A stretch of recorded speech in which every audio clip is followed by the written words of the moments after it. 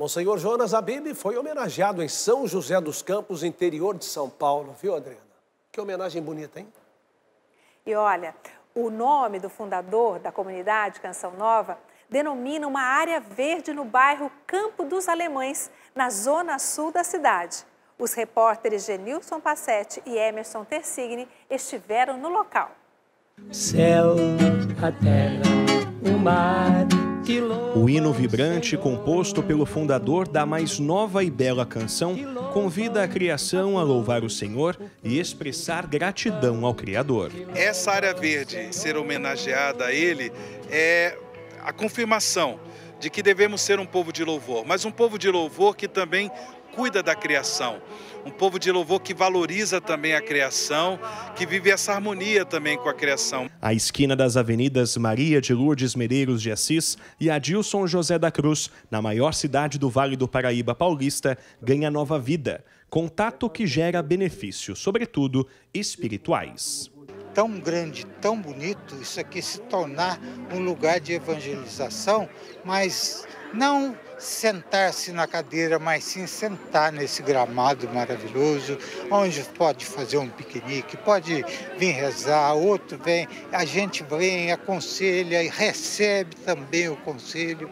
Vamos celebrar muitas missas aqui. Ruas, praças e avenidas recebem do poder público nomes de pessoas falecidas que contribuíram com a comunidade.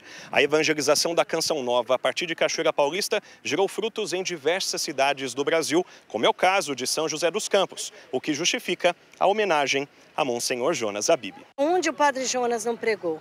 De norte a sul, de leste a oeste, é, nas Américas, por outras nações, mas especialmente no Brasil, ele deu a vida. É uma imensa gratidão, uma honra, uma honra maravilhosa. Nós não esperávamos por isso. Uma área verde tão ampla. Monsenhor deve estar numa alegria imensa no céu. Muitos joseenses, na, naquele momento, conversaram comigo: olha a cidade não pode esquecer do Monsenhor Jonas Abib. Tem que achar alguma coisa, falava né, em nome de rua, uma avenida, alguma coisa assim. Além de ser uma, uma cidade acolhedora, eu diria que é uma cidade também que honra tudo aquilo que grandes nomes fizeram para nossa cidade. Carinho que reconhece o desafio de anunciar a Boa Nova, processo que alcança famílias e companheiros de missão. Estamos vivendo o luto, né? E vendo essas homenagens, vendo as pessoas lembrarem dele, é, agradecer, né? Porque tudo isso é, é em forma de agradecimento, né? Eu fico muito emocionada. Aumenta meu amor pelo povo e por ele.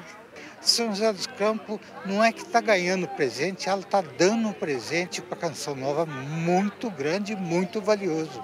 Damos a certeza que daqui vai surgir muita gente para Deus. Reunidos aqui, reunidos